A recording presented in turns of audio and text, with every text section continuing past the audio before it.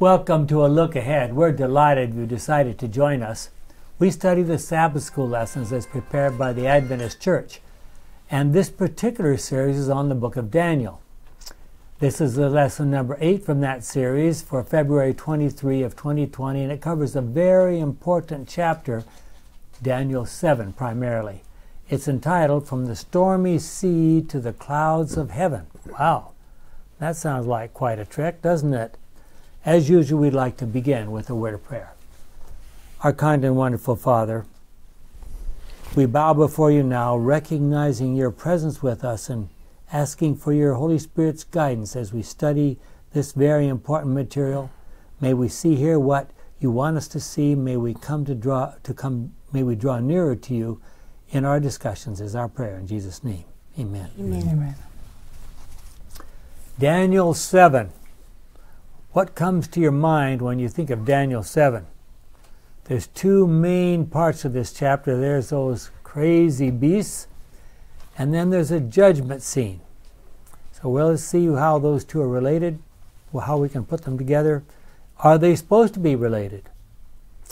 Well, like Daniel 2 and Daniel 8 that we'll study later, Daniel 7 is a prophecy talking about kingdoms and long time periods looking forward into the future. Now, if you remember what it says in Isaiah 50, you know, 40 to 55, it says, What kind of person is a God?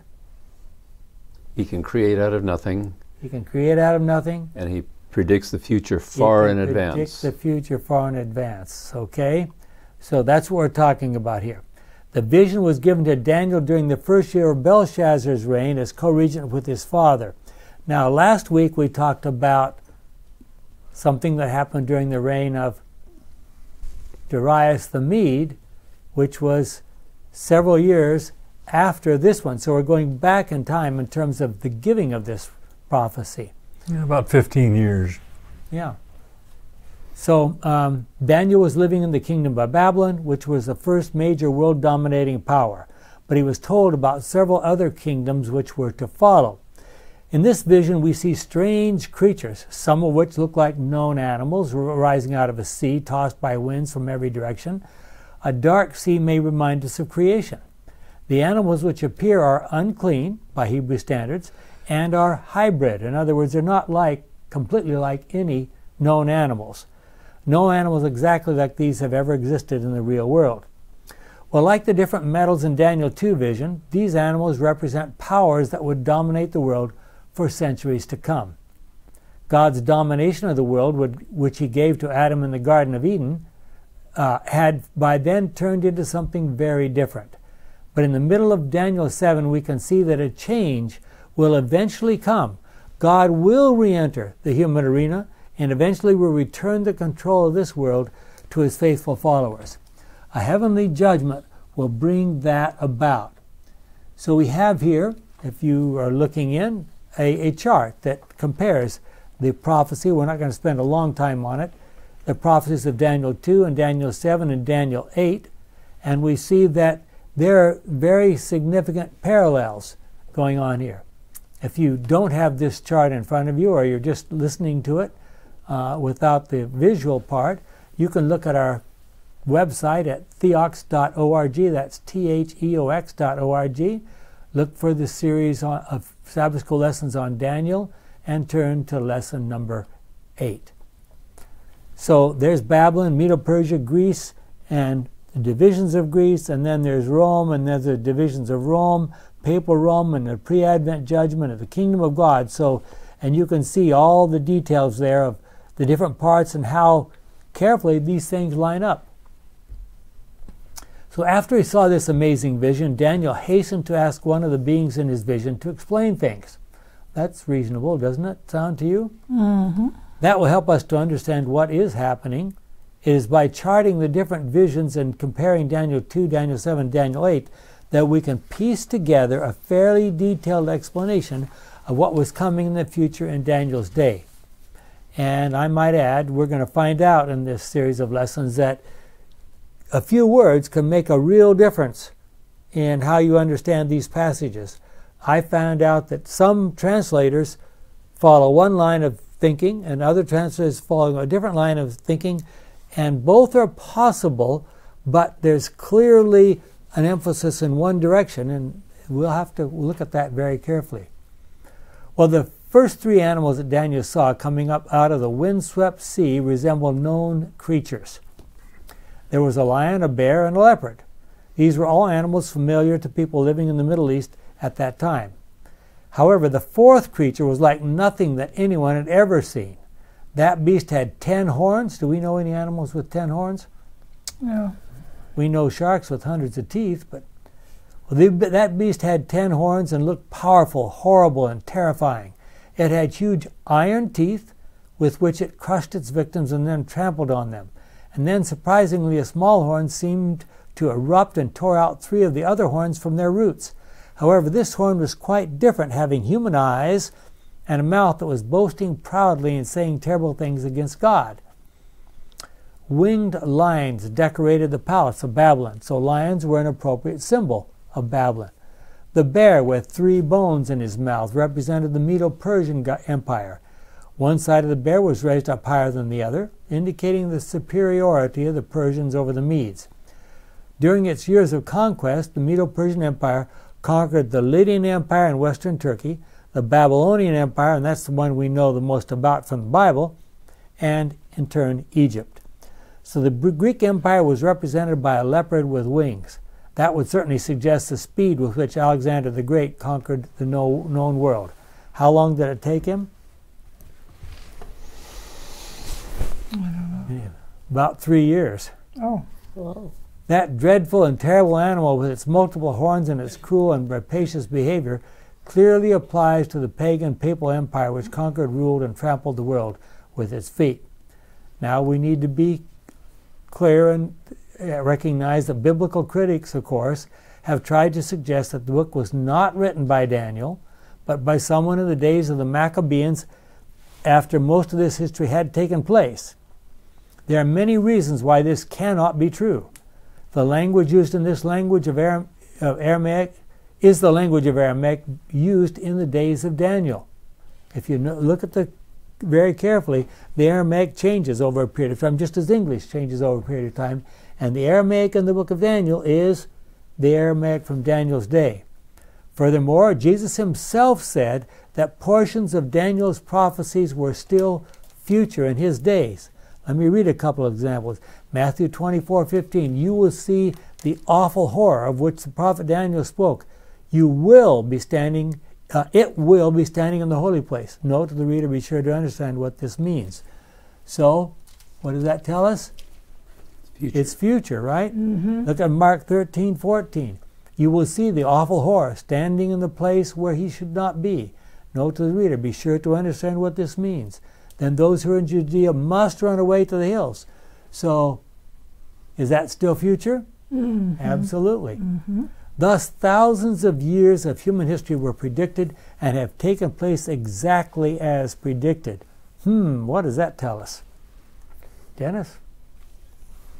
In the annals of human history, the growth of nations, the rise and fall of empires, appear as dependent on the will and prowess of man. The shaping of events seems to a great degree to be determined by his power, ambition, or caprice. But in the Word of God, the curtain is drawn aside, and we behold, uh, behind, above, and through all the play and counterplay of human interests and power and passions, the agencies of the All Merciful One, silently, patiently working out the counsels of his own will. Ellen White. Education 173.2. I don't know if it grabs you like it grabs me, but think of that that contrast there. Human beings think that they're doing what they want to do. They're doing all sorts of crazy things, and yet somehow behind this, God is working out His will. Yeah. Mm-hmm. How does He do that through all their craziness? Amazing. Well, the little horn power appeared for the first time in Daniel 7, and we're going to talk about the little horn power for a while, several several weeks now. Jackie? And this is Daniel 7, verses 7 and 8, and 19 to 25. As I was watching, a fourth beast appeared It was powerful, horrible, terrifying. With its huge iron teeth, it crushed its victims and then it would trample on them. Unlike the other beasts, it had ten horns. While I was staring at the horns, I saw a little horn coming up among the others. It tore out three of the horns that were already there. This horn had human eyes and a mouth that was boasting proudly. Then I wanted to know more about the fourth beast, which was not like any of the others. The terrifying beast which crushed its victims with its bronze claws and iron teeth and then trampled on them. And I wanted to know about the ten horns on its head and the horn that had come up afterwards and had made three of the horns fall. It had eyes and a mouth and was boasting proudly. It was more terrifying than any of the others. While I was looking, that horn made war on God's people and conquered them. Then the one who had been living forever came and pronounced judgment in favor of the people of the supreme God. The time had arrived for God's people to receive royal power. This is the explanation I was given. The fourth beast is a fourth empire that will be on the earth and will be different from all the other empires. It will crush the whole earth and trample it down. The ten horns are ten kings who will rule that empire. Then another king will appear.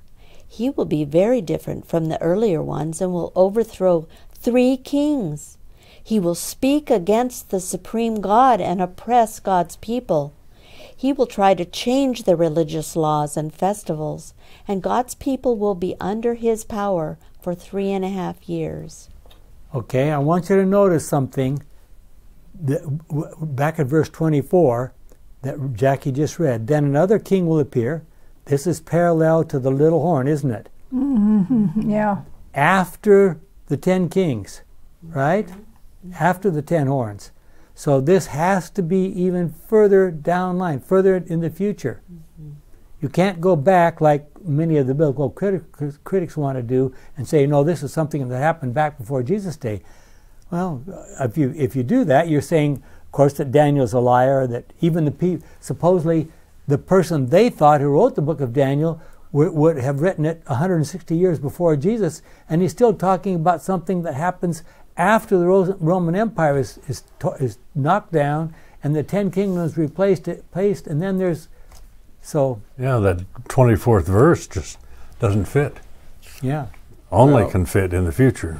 Yeah, well, many of them, instead of, uh, uh, I think the what we would call the Roman, they're they're saying that that that was uh, Greece, and uh, divide the the uh, Okay, and every, so- all of them up differently than we would. But I'm not excusing them. I'm just saying that that's how they.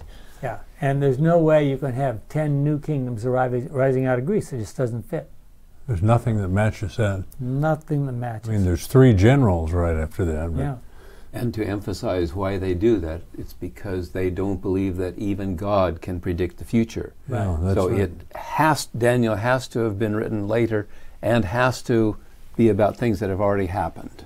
or things that were happening at that time, possibly. A lot of those that think that way are called process theologians. Yeah. They can't imagine that y- y- God that you're free to make decisions if God already knows what's going to happen. He's, he must be manipulating somehow.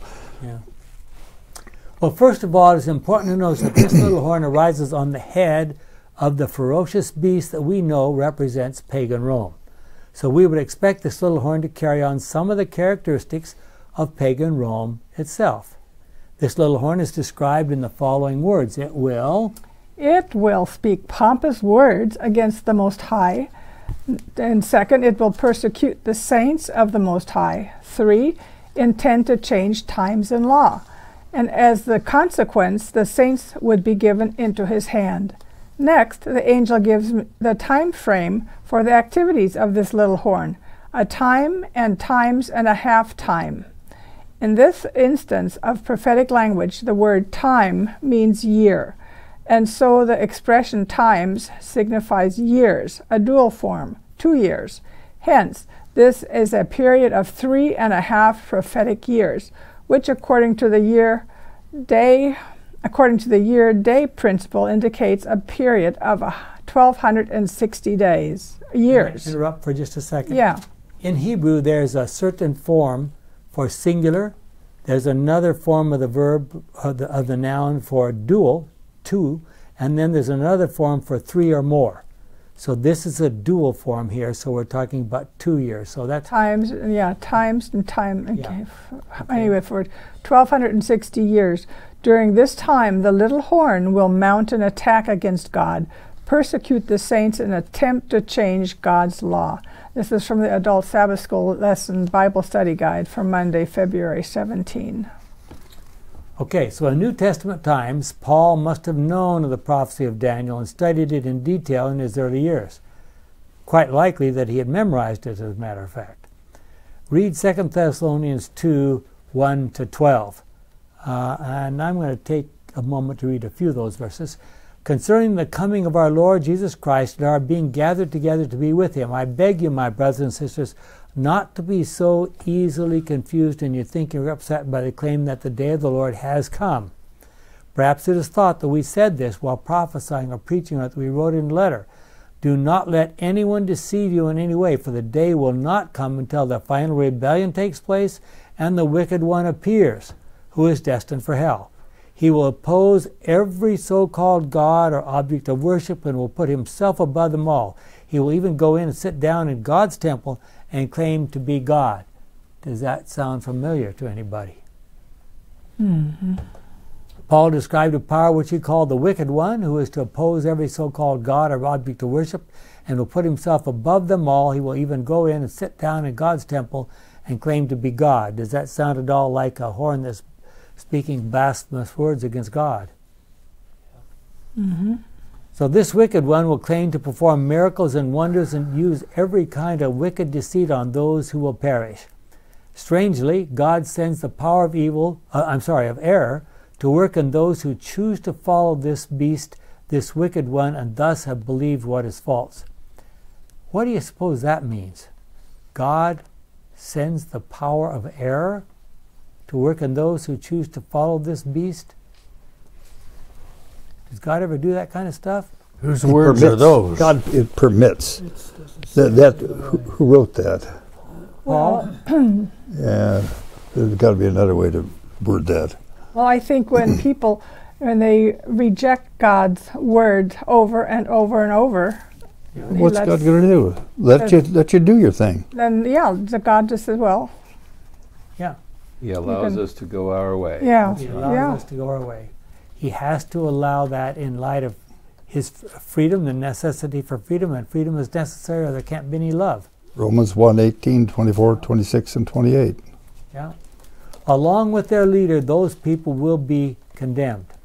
Well, in the central portion of Daniel 2, now we're moving on to the next section, we read these words.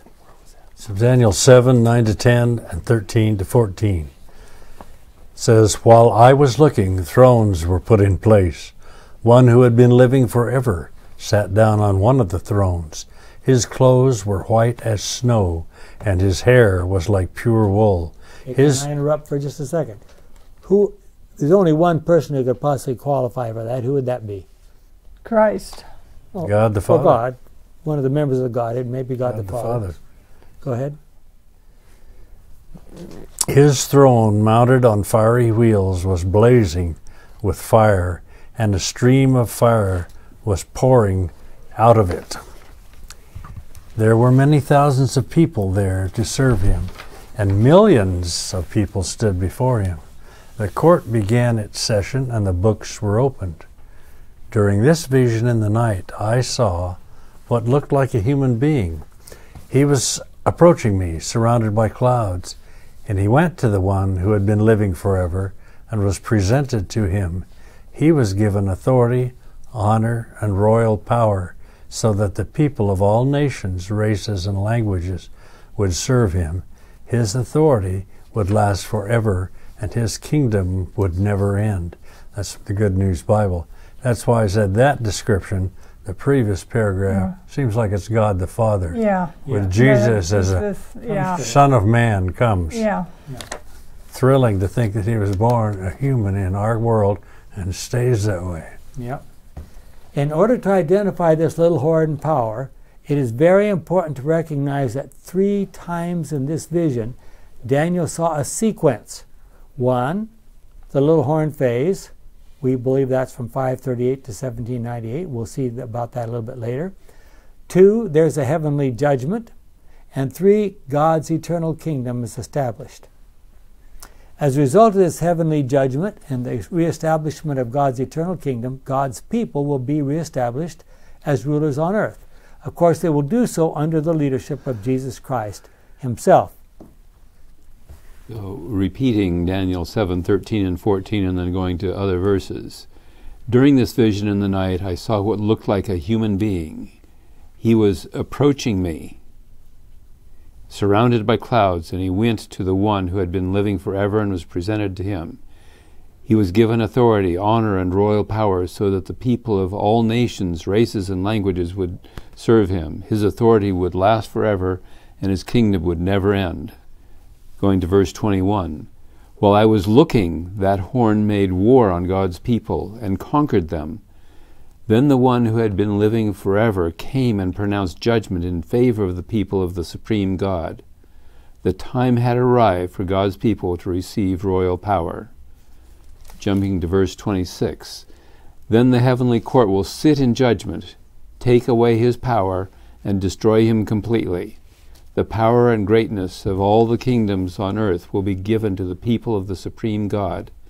Their royal power will never end, and all, all rulers on earth will serve and obey him.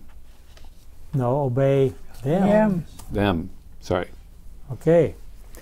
Judgments are something that happen fairly frequently in Scripture. But this one is different. How is it different? This is a judgment that takes on cosmic proportions. Now, my Good News Bible, it talks about millions of people gathered around. Other versions, it says different kinds of beings. Who was who's gathered around in the, the judgment here? Angels. The angels. Hundred million angels are gathered observing what's going on here around God's throne. So where is that judgment located? Is that in New York City or Washington D.C. or Paris or London? No. It's in heaven. This is a this is a universal Yeah. thing. Shouldn't that verse 27 say obey him, him rather than them? Well, it says they will be given power to rule with him. Their then royal says power will will- never end, and all rulers on earth will serve and obey them. But, But it if you go like back it should up- be him. Um, New American Standard says him, so him. not everybody translates it the same there. Seems like good news misses the mark when it talks about human beings up there too, rather But look, than look at verse 20, thousands of angels. Look at verse 22. Then the one who had been living forever came and pronounced judgment in favor of the people of the supreme God. The time had arrived for God's people to receive royal power. So that's why it says them. I mean, it's clearly it's under Christ. We, we've already mentioned that, but they are they are given thrones. It says clearly they are given thrones. Well, this is a judgment that takes on, takes on cosmic proportions, taking place in heaven itself. And it impacts not only the little horn, but also God's faithful people down through the generations. In Daniel 7, we are not given any details about the timing of these events. We will get more details on that in the next two chapters. There will be a pre Advent judgment, which will take place in heaven, and it will favor God's faithful people. How do we know that? Look at verse 22 again. Then the one who had been living forever came and pronounced judgment in favor of who? The people of the supreme God. The time had arrived for God's people to receive royal power. So, how should we relate these events, pictured in Daniel 2, 7, and 8, to the great controversy as we understand it? Well, there are several passages in Scripture which appear to discuss how God's judgment takes place. And we obviously could spend a whole several hours discussing the details of these passages. We have Zechariah 3 1 to 5. What does it say? Joshua, who at that point was the high priest, and represented all of God's people, was brought into judgment. Who's accusing him? Satan. Satan. Satan is accusing him. And who's defending him? Jesus. Jesus. And what role does the Father have? He's just overseeing the whole process. It's not God the Father accusing him and Jesus pleading his blood and so forth, that kind of stuff. No, Satan, is the Satan accuser, accuser. and Jesus is the defender. And we read in Daniel 12, I'm sorry, I'm sorry, Revelation 12, what does it say? Who is the accuser of the brethren there? Same Satan. Satan. It just says specifically. And then a couple of other passages I think we look at a little more carefully. John 3. For God did not send his Son into the world to be its judge, but to be its Savior. Those who believe in the Son are not judged, but those who do not believe have already been judged, because they have not believed in God's only Son. This is how the judgment works. I don't, don't know why we don't talk about this verse more often. This is how the judgment works. The light has come into the world, but people love the darkness rather than the light, because their deeds are evil. All those who do evil things hate the light and will not come to the light because they do not want their evil deeds to be shown up. So, what are the evil people doing? They're running away from the light, right? What are mm-hmm. God's people doing? They're running They're to coming it. to the light. But those who do what is true come to the light in order that the light may show that what they did was in obedience to God. So, who does the judging? We do. Are we coming toward the light or are we running away from the light? Heaven is self-selected, right? Yeah. You make your own decision, for or against. And Daniel, I mean, keep saying Daniel. John 12, 47 and 48 and, and John 5, 22 support that. A careful review of these verses makes it clear that while the Father in heaven supervises the judgment, as cases are reviewed, the accuser, Satan himself, tries to make our cases look as bad as possible. In response, Jesus explains why he believes things are not the way Satan has suggested. The entire heavenly council, hundreds of millions of angels, are watching as all of this takes place.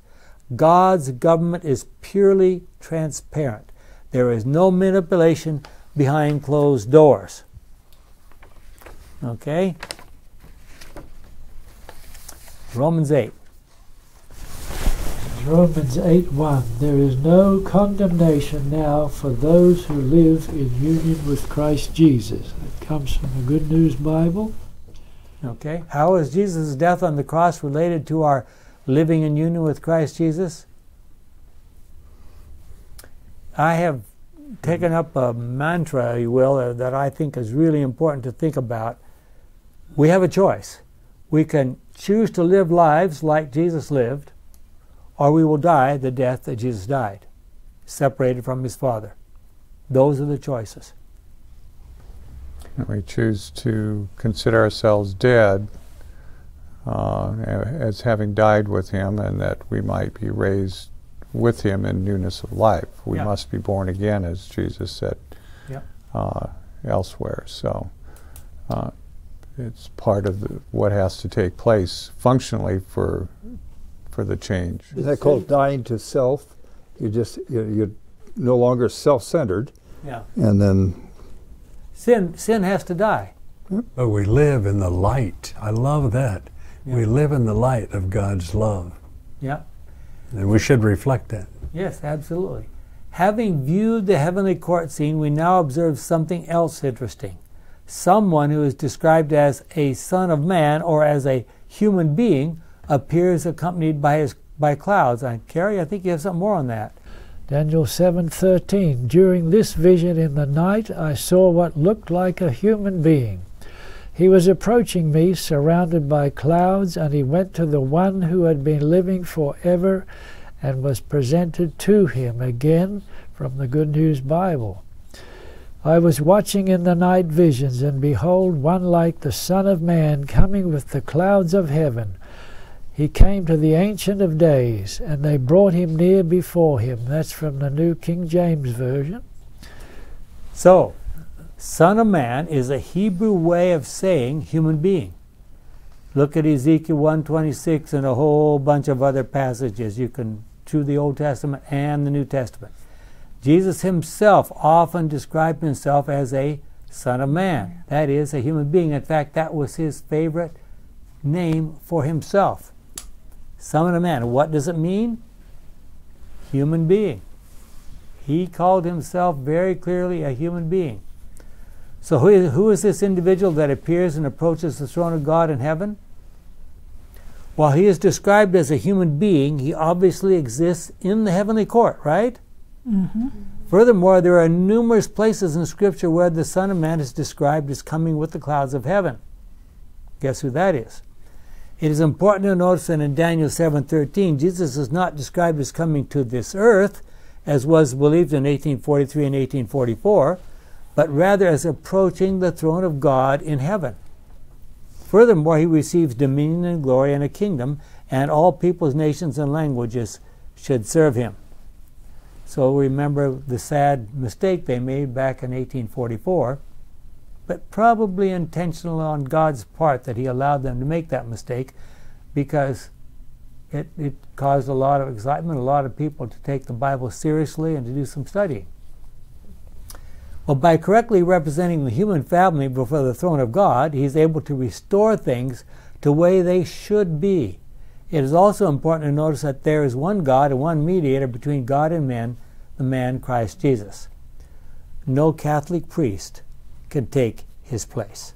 Amen. Okay, so this little horn, representing the Catholic system, has made all kinds of boastful claims about its powers and its abilities. Jim? The catechism, this is from the Catechism of the Catholic Church. So this is their words speaking to their people.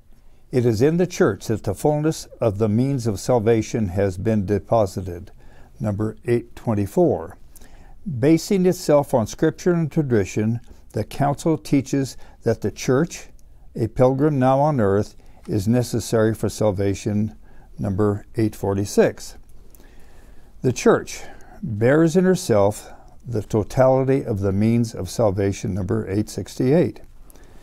There is no offense, however serious, that the church cannot forgive.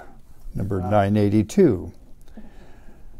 Were there no forgiveness of sins in the church, there would be no hope of life to come or eternal liberation. Number 983. The sacrifice of Christ and the sacrifice of the Eucharist, uh, the Mass, are one single sacrifice. In this divine sacrifice, which is celebrated in the Mass, the same Christ who offered himself once to a bloody, excuse me, in a bloody manner on the altar of the cross is obtained and is offered in an unbloody manner. From uh, something here, Number 313. number 1367. part of that Catholic catechism. So they're saying, what have they said in these few passages? We have the ability to forgive sins. We're the only ones who have access to the plan of salvation. So if you're not a Roman Catholic, you cannot be saved. That's rather forthright, isn't it? They just take the place of God, basically, right there. And who, who have we just been reading about who tries to take the place of God? Little horn. Little horn. Representing whom? papacy. Well, the papacy, but who's really the power behind it? Satan. Satan. Satan himself. Who wants to be like God? It's dragon. Absolutely Satan. How does it make you feel to recognize that Jesus is the one representing your case in the courts of heaven? If you could sign up a lawyer and pay him for any kind of a fee, who would you want?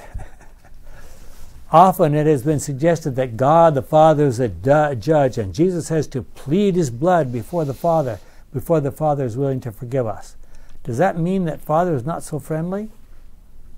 Do we need the Son to plead our case before the Father to convince the Father to forgive us? Well, in well, John 14, 9, Jesus says, You've seen me, you've seen the Father, Yeah. implying that Jesus is the Father. Mm-hmm. Well, we don't have time to read all this. There's, if you had time, or you could read Daniel 7, 18, and 21 through 22, and 25 and 27. Well, but what's going to be the final result of all these activities of the little horn? The power and greatness of all the kingdoms on earth will be given to the people of the supreme God. Their royal power will never end, and all rulers on earth will serve and obey them. That's that's again them, huh? To me, it should be him. Yeah. Well, that's well. I mean, you can see royal power is given to them.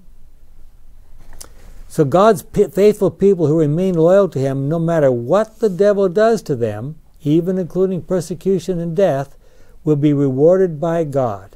But eventually, they will be the winners in the great controversy. A victory for Christ is a victory for them. Having seen how history is foretold hundreds of years in advance, and now that it has worked out exactly as predicted, does that help you to trust in the Bible? Mm-hmm. And this is from the Adult uh, Sabbath School Bible Study Guide for Friday, February 21st. A cursory uh, look at history reveals that after the collapse of the Roman Empire, which came about by attacks from barbarians from the north, the Bishop of Rome took advantage of the overthrow of three barbarian tribes and established himself as the sole power in Rome as of AD 538. Can I interrupt there for just a second? You remember the story that when Constantine became the emperor and declared that the Roman Empire should be a Christian empire, a little while later he decided that he didn't want he was he was much more much more comfortable in the east eastern part of his empire than he was in the western part. So he mo- what did he do? Moved Moved east. He moved the empire, the headquarters of the empire, the Holy Roman, the so-called Holy Roman Empire, from Roman Rome to Constant, what he named after himself, Constantinople. So, technically, the civil authority in the Roman Empire was over in what today would be Istanbul, but in those days it was called Constantinople. Well, That- how long was Con- Constantine in Rome? Was he really there? Oh yeah, Ruling He for how long? Yeah. He moved I out. thought he was always in Constantinople. No, no, Yeah. no, no. He he moved the government. he moved it himself intentionally.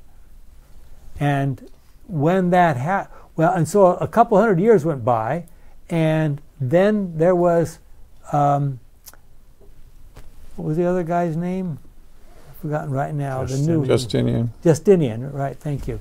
Justinian decides that, okay, how are we going to keep things balanced here? And he kept giving more and more authority to Bishop of Rome. the Bishop of Rome. And what happened? Grew into what we see today. What we see today. You want to go ahead there? In this process, he adopted uh, several institutional and political functions of the Roman emperor. From this emerged the papacy, invested with temporal and religious power until it was deposed by Napoleon in 1798. And how did that happen? Just to review the history really quick. Well, one of his generals, Yeah, birth, yeah. Berthier, General Berthier Yeah. Uh, came and captured the Pope and brought him into um, France, probably. Napoleon wasn't happy with what the Pope was doing and speaking against him, and so he said, "Go down and arrest that guy." And he, he was dead within the year. He was an elderly Pope. Yeah. Within and put him in prison within a, d- within a year he was dead. Okay. This did not bring an end to Rome, but only to that specific phase of persecution. The Pope not only claimed to be the vicar of Christ, but also introduced several doctrines and practices contrary to the Bible. Purgatory, penance, auricular confession, and the change of the Sabbath commandment to Sunday are among many other changes of the times and law introduced by the papacy. Okay. What's purgatory?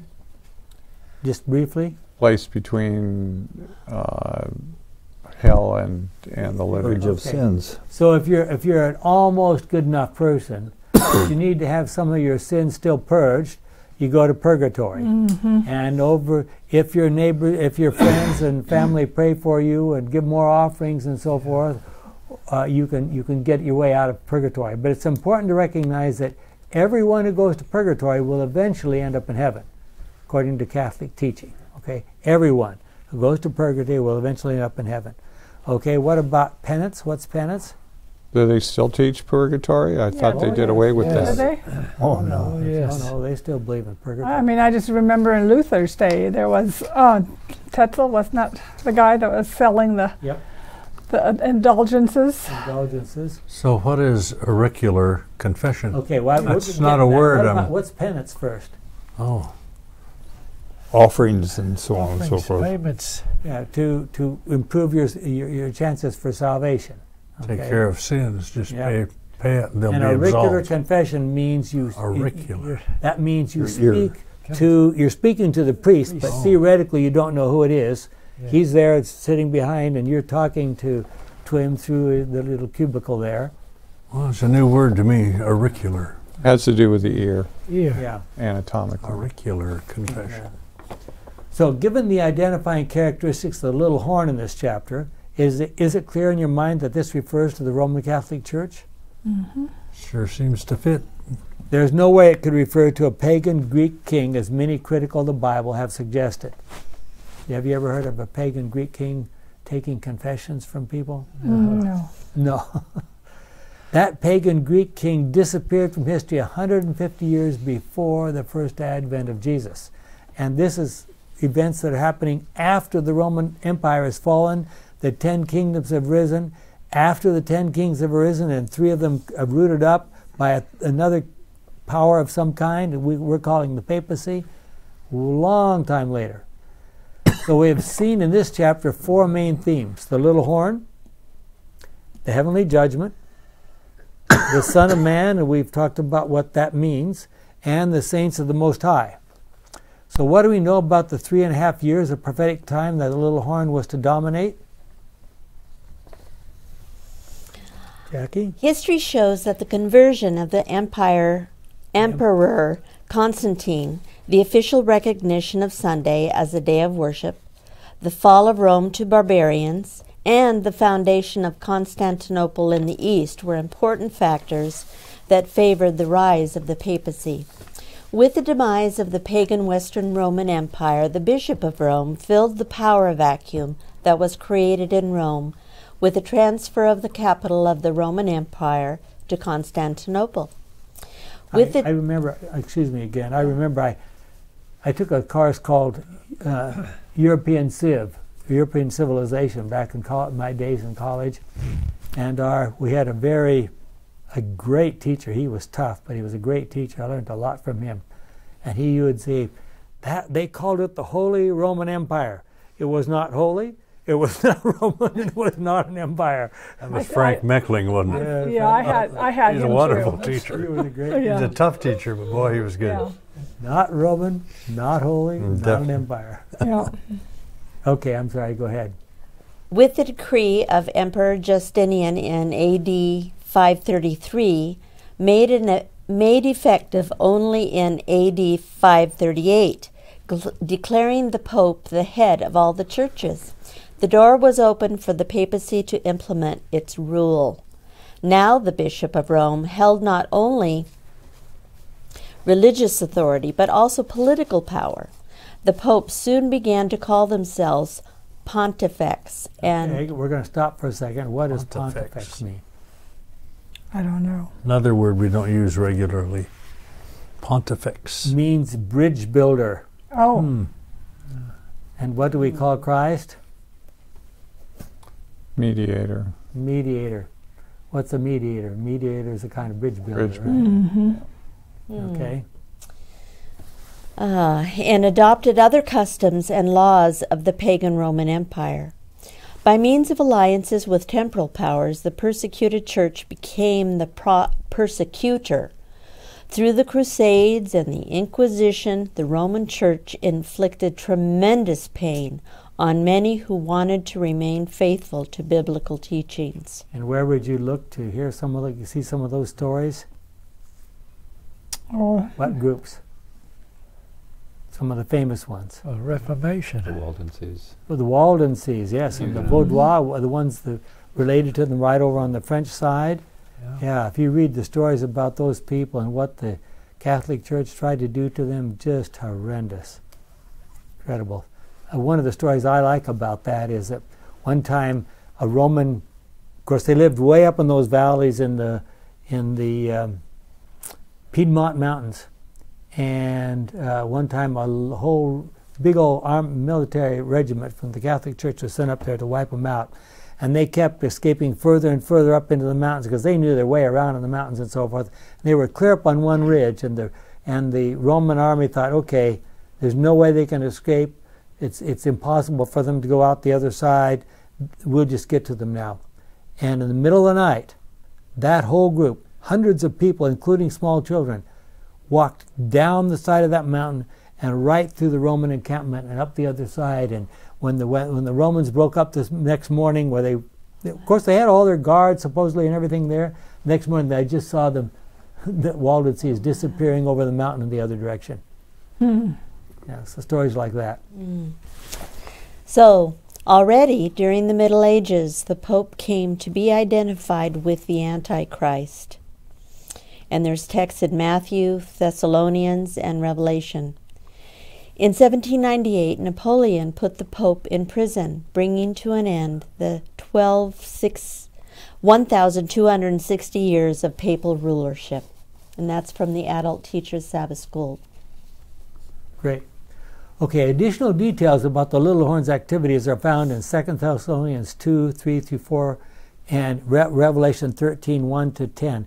I have to read a few of these verses from Revelation 13, which is just incredible. Then I saw a beast coming up out of the sea. It had ten horns and seven heads. Does that sound familiar? On each of its horns there was a crown, and each of its heads there was a name which was insulting to God. The beast, beast looked like a leopard with feet like a bear's feet and a mouth like a lion's mouth. Have we talked about bears, Yes. lions, leopards? yes. Right out of Daniel. The dragon gave it the beast his own power, his throne, and his vast authority. One of the heads of the beast seemed to have been fatally wounded, but the wound had healed. The whole earth was amazed and followed the beast. How many? The whole earth. Everyone worshiped the dragon. Who's the dragon? Satan. Could we actually reach the place where the whole earth is worshiping Satan? Because he had given his authority to the beast. They worshiped the beast also, saying, Who is like the beast? Who can fight against it? And I'm going to drop down to verse 7. It was allowed to fight against God's people and to defeat them, and it was given authority over every tribe, nation, language, and race. All people, all people living on earth will worship it, except, whew, thank goodness, except those whose names were written before the creation of the world in the book of the living, which belongs to the Lamb that was killed. So if you don't believe God is foreknowledge, you don't have a chance. Right? Those names are written in the book before the creation of the world. Now, Yeah. what text is that? Re- Revelation 13, 8. Uh, yeah, 13, 8. Yeah. It should be surprising and shocking to us to realize that virtually everyone in the world will follow after this false God imitator. Okay? Margaret, I think. All right, yeah. Ellen White talks about several books that presumably are involved in the pre pre Advent judgment. She mentions the following books in connection with this judgment. Number one, the Book of Life, containing the names of those who have accepted the service of God. Number two, the Book of Remembrance, a record of the good deeds of the saints. And number three, a record of sins. This comes from the Great Controversy, page 480 and 81. For the sake of justice and transparency to all those involved in and affected by the final decision, God must conduct an investigation so that no one could cast doubt upon the rightness of the final decision. And this is from Adult Teachers Sabbath School Okay. uh, sti- So let's guide. think about this for a moment. God is conducting the judgment. Is he going to be fair? yes, Does he have to judge against those who judge against him, who choose against him? He has to. If you're going to be fair, you have to judge for the righteous and you have to judge against the wicked. You don't, I mean, this isn't a, God, a case of God paying favorites. You know, he has to do what's right. What do you know what the text that says? He, Jesus says, "I judge no one." It's the words I've spoken are, are going to be your judge. So that's be, you know, that's the words were spoken in the past. So we, we either select for or against God. The wicked kind of judge themselves, Of course. the choices that they make. That's what we read in John 3, and you can read it Yeah. again in John 12. But not So- everything is brought to light. I mean, we don't necessarily see everybody as they. I mean, we, we'll We be won't. surprised that there'll be some people in heaven that we Yes. didn't know, and, and other people will be lost that we th- we would have thought from our human perspective. So God will bring things to light. That's true. However, God will not leave any doubts in the mind of any guardian angel about whether or not this person is safe to save or not safe to save. There, the records will be thorough and transparent. So, I mean, we, we Well, if Colossians 1.19 and 20 and Ephesians 1, 9 and 10 and so forth, uh, they were confirmed at, at that, we say that the heavenly intelligences, the angels, l- learned that God's judgment could be trusted. They don't need to go into, into future details. If God said it, they understand it. They have no doubt in their mind. They don't, they don't need to be reminded. The evidence. Well, I think there's a record that, but God doesn't have to uh, turn on the uh, computer and and Yeah. Well, who is judged in this pre Advent judgment? Now, there are some passages in our Bible study guide, as well as some passages in the Bible and from Ellen White, which seem to suggest, and this is a point of contention, let, let's be honest, that only the righteous will be judged at this time. That raises a puzzling question. At the second coming, the righteous are taken to heaven and the wicked are left as dead on this earth. That means that the most important decisions are made before the second coming. God doesn't come along and say, come along later and say, "Whoops, sorry, made a mistake. I left some people Out down who go." were supposed to be up here, and you, you're not supposed to be up here." Because you know, he does. Those decisions have to be be made before the second coming. Yeah. So I thought some of them were made before the creation of the world. yes. I mean, also if we have a book it's already there, things are already decided. But, and, and once again, this is the important part. God doesn't say, "My word is it. Finish. I've decided. Here's I post up a list on the door. Nobody's there's no nobody's allowed to ask any questions. No, anybody who has questions, his questions are answered. I see it more as the book of life being everybody's name is in it. Mm-hmm. And then when Joe Blow says, nope, don't want it, they get crossed out or something. Yeah, there's some truth to, to that. At least every at least everybody who's ever claimed to be a follower of God is there. One important book that is reviewed is called the Book of Life. We've talked about that briefly. Sometimes called the Lamb's Book of Life, where we are told that the names of God's faithful people are recorded from the foundation of the world. There's also a book, and there's verses there. There's also a book of remembrance, which appears to record all of our deeds and thoughts, and there's a book of the records of the sins of man, and there's passages for that. So, uh, once again, if you want all these passages, uh, you don't have time to write them down right now, uh, go to our website and you can get our handout. Jesus is the one who is not only capable of associating with us as a human being, Hebrews 2:14 and 4:15, but also as God himself and thus is closely associated with the Father. Thus in this passage we discover that the saints of the Most High are the direct object of persecution by Satan and his little horn surrogate. In other words, what are we saying? We're saying Satan is doing everything he possibly can to get rid of us, and Jesus is protecting us, right? Mm-hmm.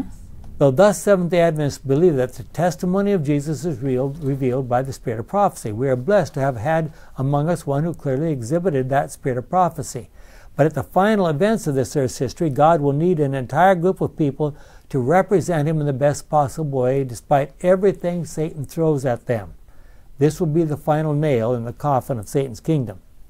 Are you comfortable with the idea that at the present time there is a cosmic judgment going on in which your case could be tried? Given what we know about what, who is accusing us and who is representing us, do we have anything to fear? Do we really need to be terrified about what accusations Satan might make against us? God's judgment are completely transparent.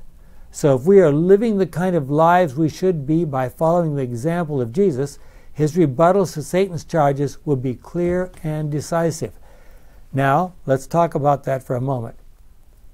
We didn't have time. This is a long handout, and there's lots of other things we could put in here. But one of the things that we're told in several places by Ellen White is that the plan of salvation will remain our study for the rest of eternity. Mm-hmm. Okay?